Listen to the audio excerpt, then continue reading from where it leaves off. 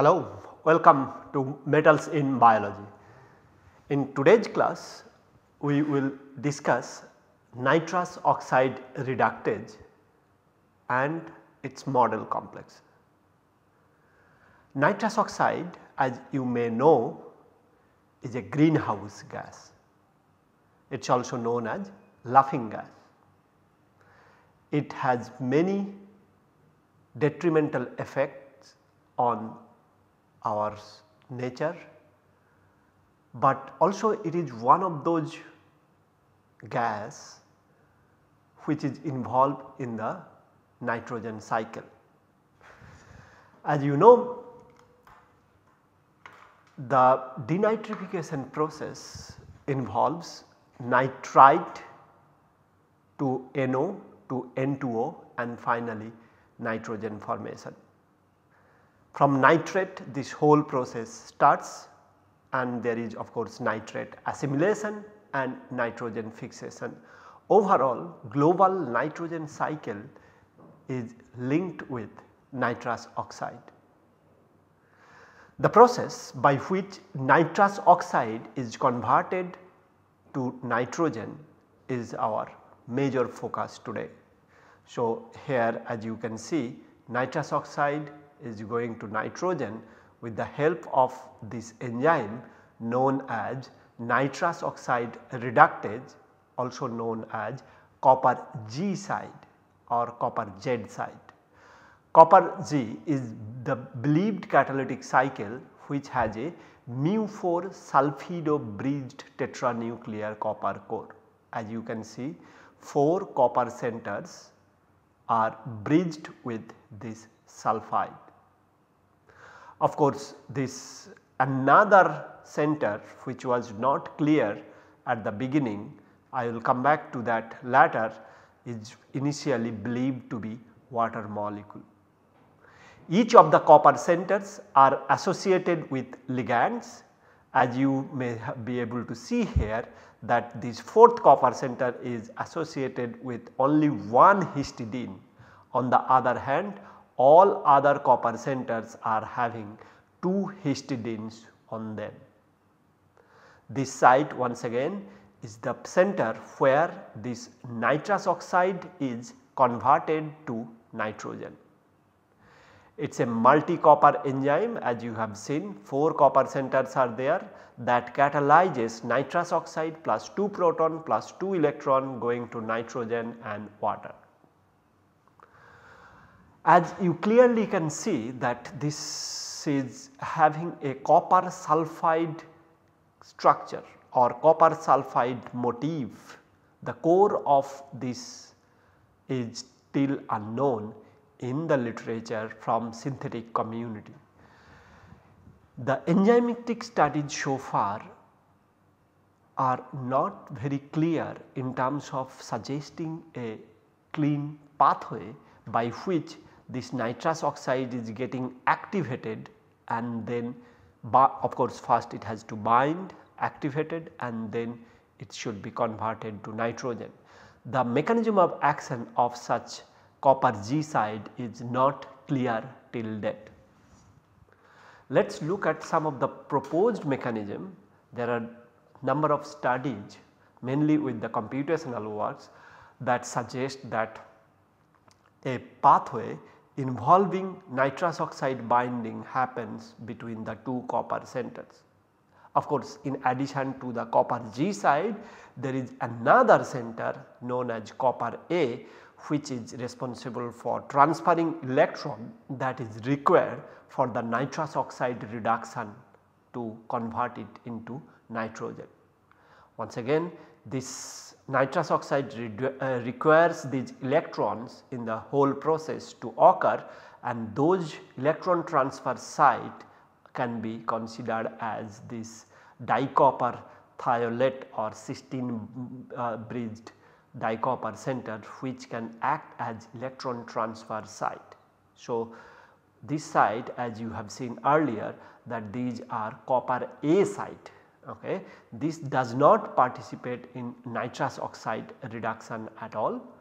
This just provides electron does not participate directly but provides electron for the nitrous oxide to, uh, to dinitrogen. Let us look at the mechanism by which perhaps nitrous oxide can be activated and then subsequently with the help of 2 proton and 2 electron can be converted to nitrogen and the complete catalytic cycle can be drawn. So, here is a putative mechanism of course this can be still debated and especially the fact that uh, the structure need, be, need to be further modified at this point. In any case if we assume that these 4 copper centers are bound with copper which is very clear from the crystal structure that is the case that 4 copper centers are bound with copper this is a sulphide uh, S2 minus sulphide and nitrous oxide is binding between these two copper centers. As you can see it has been, it has been proposed that this nitrogen is uh, bound with copper 1 and this copper 4 is bound with oxide. These are computational studies, some experimental studies are also done overall this is the mode of binding that is suggested for nitrous oxide. Once this is bound one can exclude nitrogen from here to get, to get this copper oxo copper bridged. From here on a protonation uh, and or subsequent this 2 electron transfer can lead to the overall completion of catalytic cycle. Of course, this protonation can directly happen uh, simultaneously when nitrogen is going out to form this intermediate and subsequently it can be converted to the starting point. So, overall this nitrous oxide will bind between two copper centers copper 1 and copper 4. Subsequently activation will take place and then removal of nitrogen will give rise to this copper oxo copper core which can undergo protonation or a direct protonation will lead to the nitrogen formation from which 2 electron and 1 proton can lead to the uh, regeneration of the active site. Well, this um, proton and electron steps can be further debated which is more convenient which steps occur first. As you can see one of these intermediate that we were talking over there can be taken up. So, we are talking about this intermediate. This intermediate putative intermediate can be taken up and a proton transfer first. Subsequently an electron transfer can be proposed to generate this intermediate hydroxo bound intermediate. Subsequently another proton and another electron will give rise to the uh, re reduced form of the nitrous oxide reductase. As you can see that this perhaps is the preferred pathway. The other pathway involved are little more, more energy demanding. Perhaps therefore this ET, PT, ET, PT electron transfer, proton transfer these pathway perhaps is not favorable and likely not to be happening. So, proton transfer, electron transfer, proton transfer, electron transfer perhaps is the pathway that is happening this is what computational studies are suggesting. Okay. So, overall as you have seen that nitrous oxide is binding between two copper center and the whole process still would require 2 proton and 2 electron, but the catalytic cycle is able to stepwise take up these proton and electron and then the whole catalytic cycle can be converted in the whole uh, can be completed. The complete catalytic cycle would require regeneration of the catalyst which can be done as well and nitrous oxide can be reduced to nitrogen which is looking fantastic. But the problem is such uh, for synthetic chemist such a copper Z site or 4 copper 1 sulphide structure is quite a dream. So, this copper sulphide structure has actually uh, excited chemist synthetic chemist or bioinorganic chemist to look into the copper sulfur compound synthesis and try to see if such a compound which is found in nitrous oxide reductase can be synthesized in laboratory. Till that a great synthetic model that, that mimics the structural as well as the functional activities of the nitrous oxide reductase is unknown but studies are ongoing towards towards understanding and better representing the me mechanism of such reaction.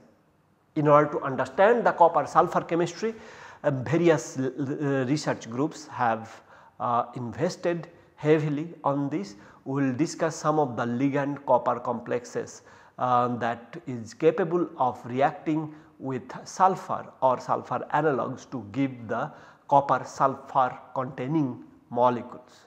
Let us look at some of those efforts which tries to mimic the activity of nitrous oxide reductase, but I must tell you that those mimic has not been that great yet. So, efforts are still on. Let us look at the initial studies or pre preliminary studies that has been done till date to solve or to understand the copper sulfur chemistry. Well, the first um, slide over here shows that 4 nitrogen centers or these famous TPA, TMPA ligand based will react with copper to give copper 1 T TMPA complex. We have seen this earlier in, in the context of copper oxygen chemistry and copper mononuclear oxygen chemistry, copper dinuclear um, oxygen chemistry right. So, this copper complex can uh, excitingly be reacted with elemental sulfur which is quite fantastic just like oxygen its sulfur can be reacted and just like oxygen an end on bound disulfide can be generated. Uh, if you have remember um, that if these tetradentate ligands are reacting with oxygen it was forming dicopper peroxo intermediate where oxygen was reduced by 2 electrons. Here the sulfur moiety is essentially replacing oxygen uh, atoms and then we are seeing that this sulfur 2 sulfurs are 2 minus this is copper 2 plus this is copper 2 plus overall this is a very nice compound which, which gives rise to the similarity between the reactivities of sulfur and the oxygen with this tetradentate ligand system. That is quite exciting to note. But uh, one of the problem happens during this reaction uh, and um, that is associated with the fact that this is not uh, a pure compound.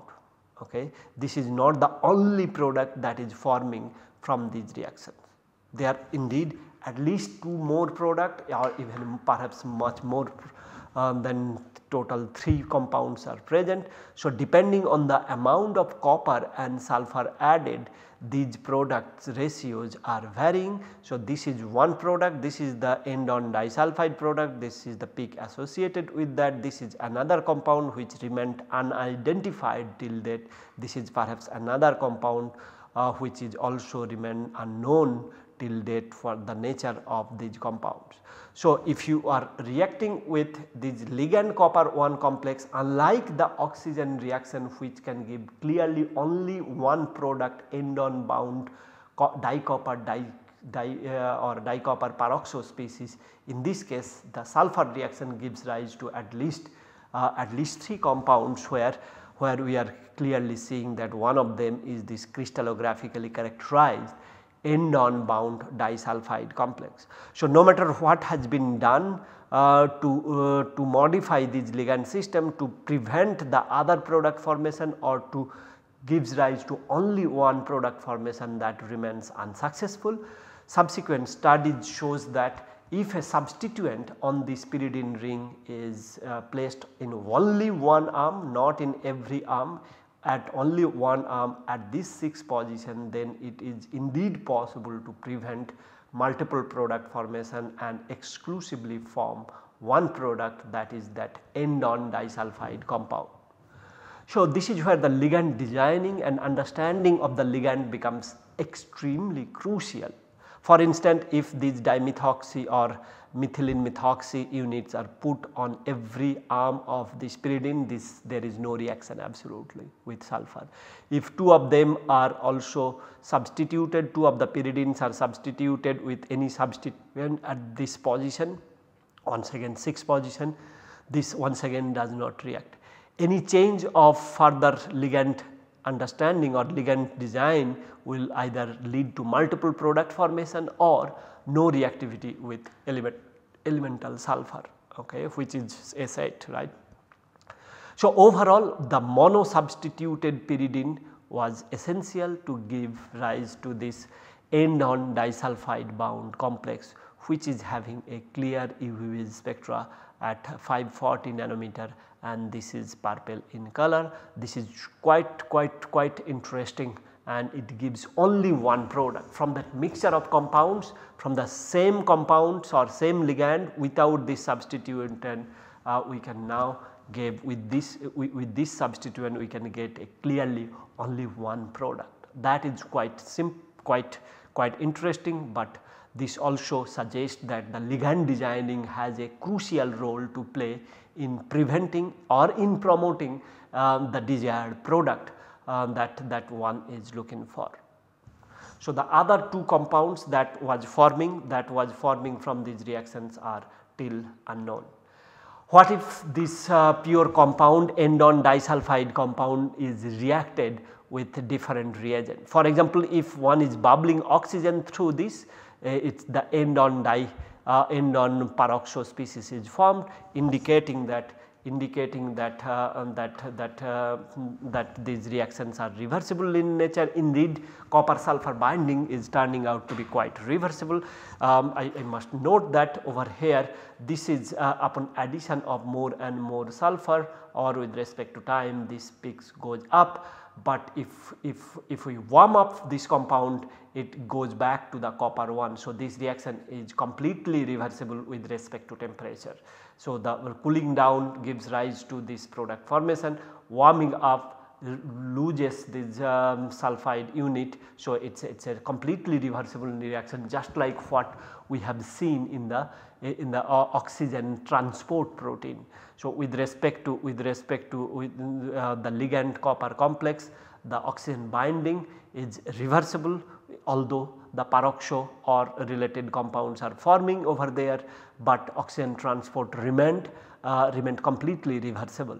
Similarly, sulfur binding is completely reversible which can be also manifested by the fact that the oxygen bubbling gives rise to this species uh, which is an end-on bound crystallographically characterized intermediate. This intermediate is also crystallographically characterized and this is also definitely crystallographically characterized. Therefore, this also shows that that oxygen binding is stronger than the sulfide binding for, for the cases with the tetradentate ligand system. If benzyl bromide is reacted with this uh, with this copper disulfide compound bi, bibenzyl bisulfide or benzyl disulfide dibenzyl disulfide is formed this, this type of product formation indicates that your sulfur is having a negative charge right. If it is having negative charge then only it can attack on a positively charged carbon center over here and that is how this product perhaps is forming. So, like this end on peroxo these disulfides are nucleophilic in nature. So, this is a nucleophilic center or delta minus charge is there and that is why it is attacking on benzyl bromide. One can also purge carbon monoxide through this to give the copper 1 CO complex. This is a copper 2 copper 2 this will be a copper 1 CO complex this is also copper 2 and copper 2 complex. During this benzyl bromide reaction one can expect to get copper 2 bromide which is also crystallographically characterized. With reaction of triphenyl phosphine these copper phosphine complexes are formed along with the formation of triphenyl phosphine sulfide 4 equivalent of this is used 2 equivalent of copper 2 equivalent of triphenyl phosphine sulfide can be generated from such reactions. Okay. That is all about the end on disulfide complex. Let us look at what happens when a tetradentate ligand is reacted with uh, sulfur that is what we have seen. Now what happens if a tridentate ligand such as this one dimethyl amino MEPY2 ligand this is the ligand crystallographically characterized starting material.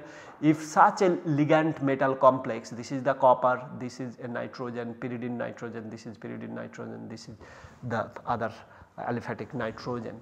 Now if such a compound is reacted with elemental sulfur as we can see now that a dicopper disulfide is forming now the bridging mode is side on. Previously as you have seen the crystal structure it is end on in nature but with a tridentate ligand system it gives rise to a side on disulfide just similar to what you have seen for the tridentate ligand and oxygen reactivity these reactions are occurring at room temperature it does not require indeed uh, indeed at low temperature reactions are sluggish.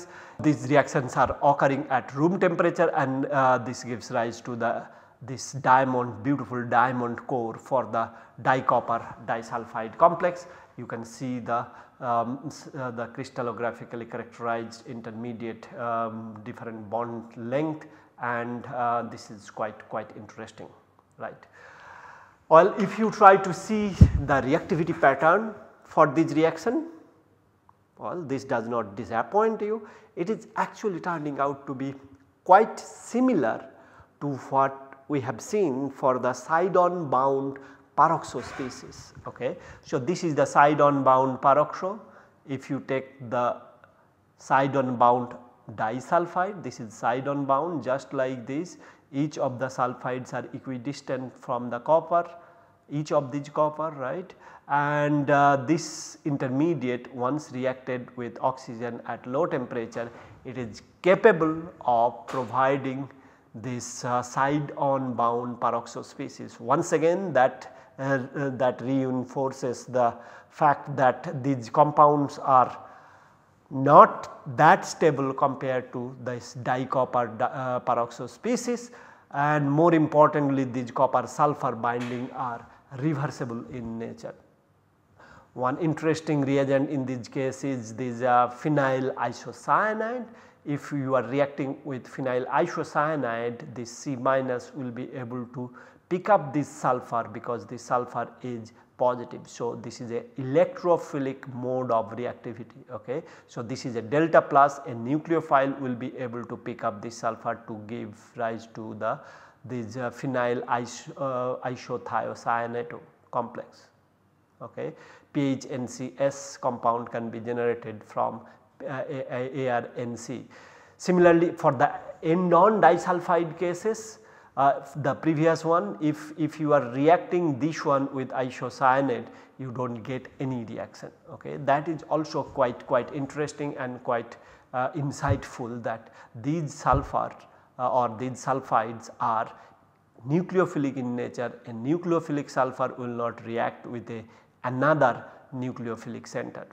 Well, it is also possible to exchange the ligand. So, this is a tridentate ligand, tridentate ligand can be exchanged with a tetradentate ligand quite interestingly this side on bound disulfide now will give end on bound disulfide that is I would say quite fascinating. Not only oxygen ligand exchange the ligand for the copper can also be exchanged and sulfur can be transferred to, um, uh, uh to isocyanide to give isothiocyanide again carbon monoxide can be displacing uh, this sulfur unit just like what we have seen in case of the end on disulfide. Phosphine reactions are interesting if you see only 2 equivalent of phosphine is added then then we will be able to see that um, then we will be able to see that 2 equivalent of phosphine sulfide is getting generated. If 4 equivalent is reacted the reaction is similar to what we have seen in case of the end on disulfide. Quite um, surprising not surprisingly I would say uh, benzyl bromide as you have seen that this reagent reacting with benzyl bromide to give bibenzyl bisulfide but in this case there is no reaction once again reinforcing the fact that these disulfides are electrophilic. Quite interestingly as you can see um, these, um, these um, benzyl bromide reactions and isocyanide reactions are, are quite clear that the reactivity pattern for for these uh, disulfide end on disulfide versus side on disulfides are completely different. So, side on disulfides are electrophilic in nature that is this one. This reaction demonstrate that no product formation also demonstrate that end on disulfide that is this one is nucleophilic in nature. So, there is a delta minus here delta plus here. This delta minus will react with benzyl bromide and and um, and therefore we will see that ben, bibenzyl bi, bisulfide will be forming. On the other hand these sulfide will not be able to react with isocyanide right. Overall this is what uh, settles then that side on disulfides are are looking like electrophilic in nature and the end on disulfides are nucleophilic in nature.